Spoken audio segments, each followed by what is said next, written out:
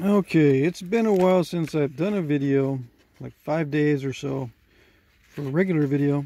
and one of the reasons is uh, I thought about this for a long time to wrap up this series on Clovis hafting.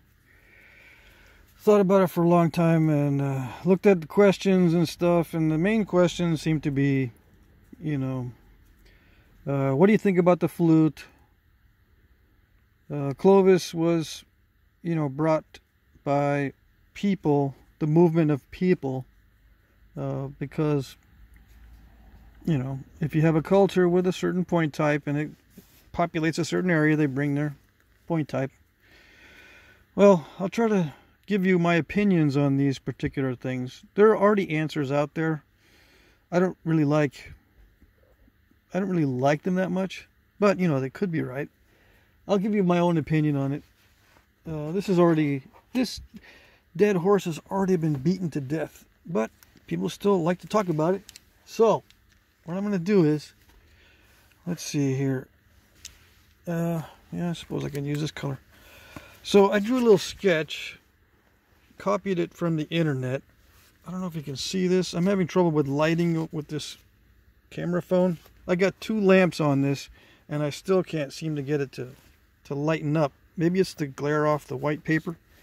Anyway, I'm going to get a DSLR camera pretty soon and we'll see how that works for these drawing and words type videos. All right, anyway. Clovis came in, so let's see.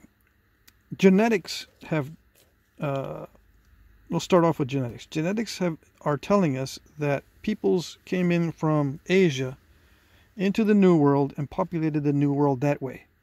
The genetics do not point to a European expansion as the original founding population of the Americas.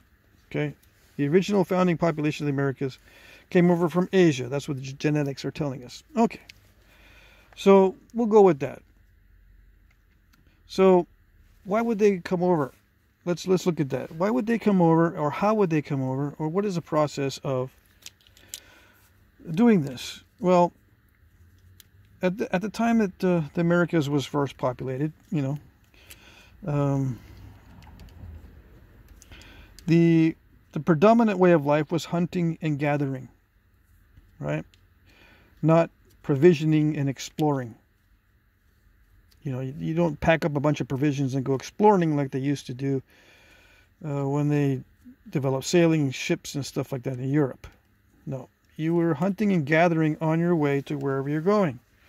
So, what were these guys up here in Asia hunting and gathering on the shoreline or on the land? Well, on the shoreline, they can hunt seals. If there's a way to cross on land, they would probably hunt caribou right? But if you're coming across on land, it's going to take you a while. Probably you won't even make it if you have to walk all the way down to the southern tip of South America. You'll probably stop up here and say, that's good enough. But if you're hunting all the way down, or if you're traveling by boat, which maybe you're used to traveling long distances anyway, maybe you're going back and forth from Asia to the New World a lot. Uh, you would get to the south tip pretty quick if you used a boat because there's really no obstructions other than storms and seasons and stuff like that. So, uh, my take is they were hunting seals. Okay, so seals exist in this area along the coast all the way down. Doodly doodly doo. I looked this up on the internet. Down to the southern tip of Baja California and then right around here near South America, where the little island is, I forget what that's called, seals that start up again in this area and southward. All right, so seals are in all this on these areas except for this area right there. Now they could have been hunting other things, whales, blah blah blah. But seals tends to be the predominant animal that hunter gatherers like to hunt up in the north or in the cold areas because the seal skins are very, very useful. Not only the seal meat, seal liver, and all that kind of stuff is very nutritious and all that kind of stuff, the skins are very, very useful. All right. I just wanted to repeat that because it's important. Now, if you're coming down looking for seals, you're going to stop around here. You're not going to go further. Right? So why would they continue? Well, I don't know. I don't know why they would continue across this gap when what when their prey is is uh, not venturing between here. This is um, other animals, sharks and stuff in this area predominantly, I guess. Uh, or maybe the maybe the seals are, are not liking the warmer temperatures, right? Anyway, that's one obstacle. Why would they cross over when they got plenty of seals up here? I don't know. But it's possible. Um, I do think that they did wander across this area. Uh, they, I, I, I, do think that they continued their boat building all across, all around, all along this coast. Okay, so I think that they did get to the South America by boat, predominantly. But we're thinking that this happened. Now that genetic research is out, we're thinking this happened before Clovis. The genetics are pointing to a a, a very um, different date than Clovis for the original population of the Americas They're thinking earlier. The genetics are telling us it's earlier than Clovis. So that means there would be people here somewhere. I think they populated the entire North and South America prior to Clovis, and that Clovis is is a meme, but not in the meme in the normal, everyday, modern sense, where you have a picture and some words and it spreads virally between people because they think it's funny or whatever. Uh, this meme is a t- technological meme that that just people thought it was a good idea, but it wasn't necessarily the shape. Now, here's where, where my opinion comes in. When you think of Clovis, you think of the shape, right? And the flute. The shape and the flute together, you think of that as Clovis. But when you look at the different Clovises and the different shapes, there are different uh, Clovis outlines. Uh, there's even little tiny ones.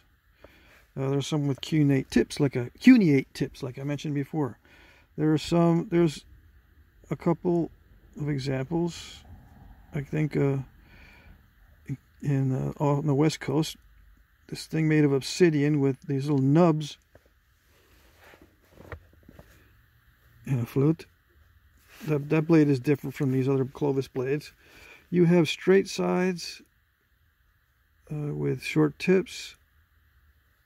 You have expanding bases sometimes.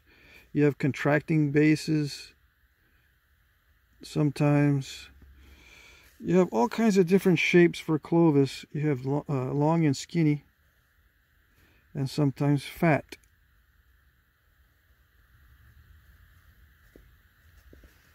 Okay, all kinds of different blade shapes, but they're all considered Clovis because they have the little flute. Right? To me, that doesn't make much sense. Okay, and this is where my opinion is coming in. This doesn't make much sense because, let's take another example. Let's say you've got a point type that looks like something you find in other places. Right, the base is the same, but the difference is on this one, you got some beveling, this one you don't. So the flaking's different on this one. So let's call this a beveless. Okay. Or how about a, a beavis? And if it doesn't have the beveling, it's called a butthead. okay? Now I'm going to go off on the, off the deep end on this explanation, but you get I think you get the point. Because what happens is you get something over here, exact same profile, all right? exactly the same. Same time period, same material, same profile. Everything's the same except this one has a flute and this one does not. What they call this a Clovis. And this, what is it, a Plainview? Call this close and this Plainview. It's like calling this a, a, a Beavis and that a Butthead. Same, everything, everything's the same except one aspect of the flaking is different. Now, this is, you might say this is different because it's tool wear, it's uh, resharpening, it's different from basal thinning, it's not part of the technology as far as uh, initial construction, okay, totally different. This is initial construction. All right. There's no real logical basis for saying that it's the the basal construction is different from the edge construction.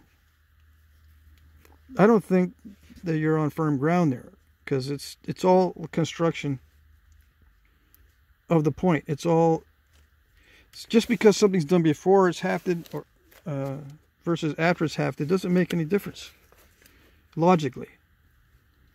Okay, it's still a difference in the flaking, a distinctive difference between two otherwise identical points in time and space. It's just a difference in the flaking. This, this is just a difference in the flaking.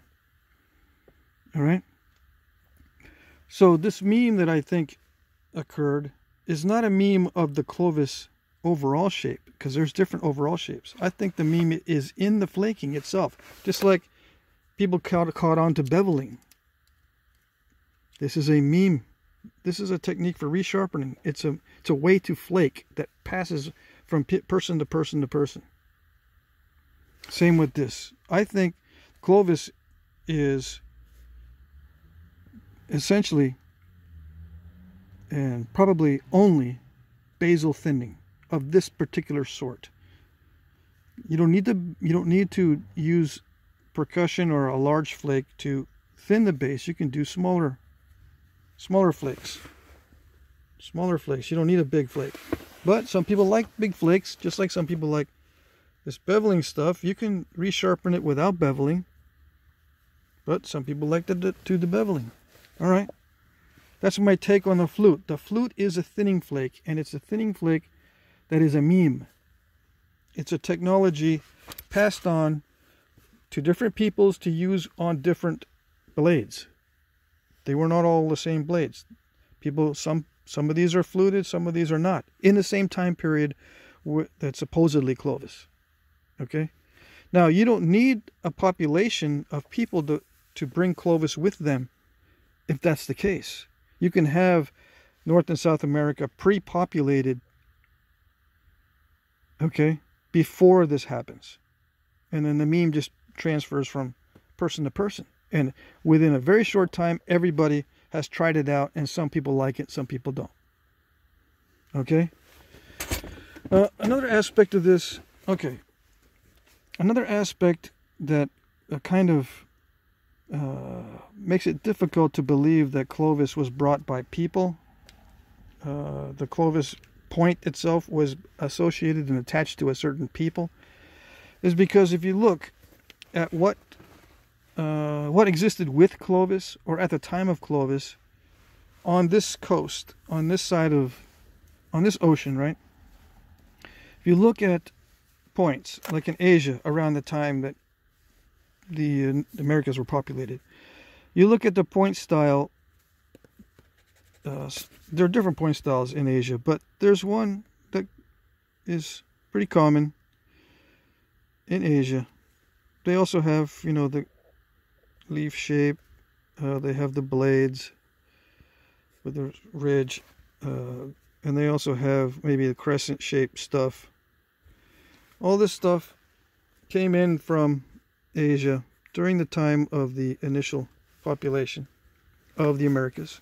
And lo and behold, yeah, we've got these base, uh, very similar, I don't know why I said base, a very similar type of points here in the Americas. Let me let me get this. I can't uh, draw and talk at the same time apparently. you get the same type of point basically the whole way down. The contracting stem point exists all the way down to South America, the southern tip of South America. The same thing. This this contracting stem point. Let's see, it's in here too. At the same time throughout this whole area. Of course, there are other points too. But when Clovis, uh, when Clovis came over supposedly, or the age of Clovis is explored, uh, you can find other points with this type of configuration, with a, a, a contracting stem, or maybe even a straight stem. All right, but this this does exist all the way down. Now, why does this make it look like they did not bring Clovis? Well, because of the shape of the point. It doesn't look like this. The highest concentration of Clovis points that look like this are actually east of the Mississippi in North America. There's, a, I think there's a lot in Brazil too, but those are fishtail points. But anyway, the highest concentration is over here in this part of the North America on the east side of the Mississippi River. Not these people that came down this way, but these people here. So it would appear that the basal thinning fluting meme started here and everyone started fluting all their stuff. Some people liked it better than others. Some people actually developed it into the primary way of thinning, like in Folsom. Folsom, uh, the primary way of thinning on a Folsom is the the flutes from the base. The entire point basically is a flute on a Folsom. So they liked it a lot. Let me see if I can remember. Yeah, Folsom points the perfect ones have, it's almost continuously from tip to base fluted with just very careful edge trimming. All right. So these people liked it a lot. Now, what else can I say about hafting? The, the base thinning is a hafting strategy. I think we should look at points not, uh, do not look at points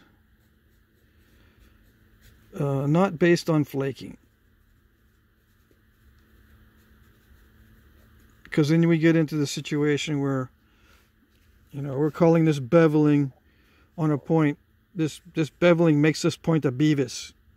It, to me, that's that's what I see because I see the Beavis and Butthead syndrome here, where the, if it's not beveled in this way, then it's a butthead.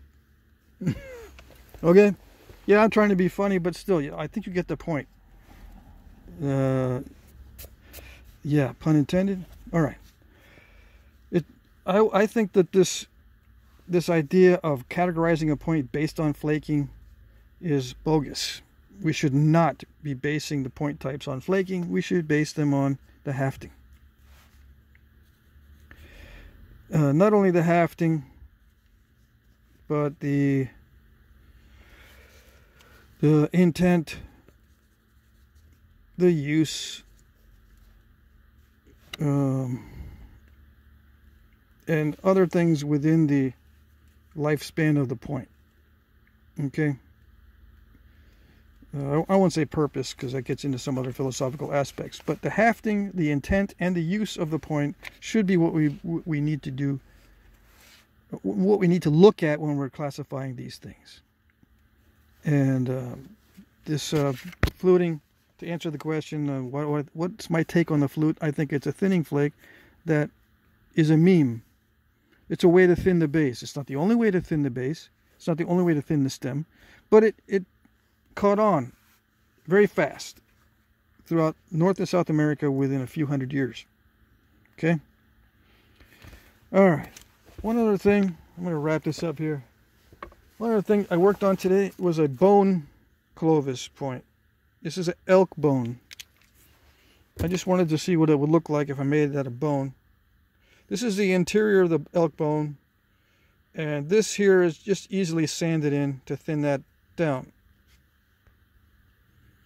Now, do I think some of these were made out of bone?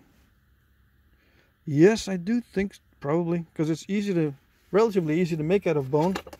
How do I know? Well, here's another bone, exactly the same as the one I got this one from. And I cut the top off, okay. You can get two of these Clovis looking things out of this one bone from each side, from that side and from that side just by cutting down this way, cutting down this way. You know, you take, you take a rock, a sharp rock, right? And you just sc keep scoring. It's already got that depression in there. You just score along this depression and score along this depression.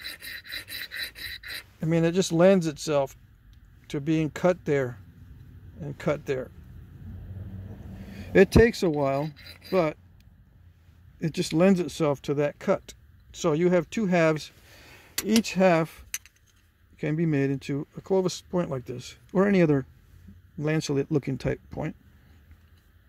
The inside of the bone is already concave. That's what that is. This is the inside of this lower part. If you cut this off, well, the other side of the bone, okay, if you cut the other side of the bone off, you can tell. This you can't see very easily. Well, you can't really see on the other one either. Anyway, never mind. Uh, but I think you get the idea. Okay? So, the idea for this fluting could have come from working bone. It could have, it might not have come from uh, a culture bringing the whole thing. It could be just, you know what? I wish we could do that with stone. Can we do that with stone? We can try to thin it like that, and lo and behold, you know, you can with enough skill. You can actually do this to imitate what it looks like if you did it, or imitate what it looks like in bone. That's just a thought. Okay. I think that's it for this. I'm just going to wrap it up here. I was going to do a lot of drawing and stuff. Actually, I should have used my marker instead of the pencil. I was fussing about not being able to read this because it's so dark hopefully that was okay. And yeah, I just did a, a quick, uh, I did a quick glance for the stem to point type. Uh, there's probably other point types that, you know, I haven't gone over or I might not be completely consistent all the way down. But anyway, I did think about it because I was I was worried that uh, my opinions would step on too many toes. But, oh well. You know how it goes on this channel. Let's see. This is an inch and almost an inch and one eighth by four inches. Yeah. So it is within Clovis range, and you can get a pretty thick piece, right? This is uh, what's it? That's more than a quarter inch thick. So it's amazing you, you can use a bone, an elk bone, probably bison as well, any larger animal, to make one of these. Is it a coincidence? I don't know. We'll see. Okay.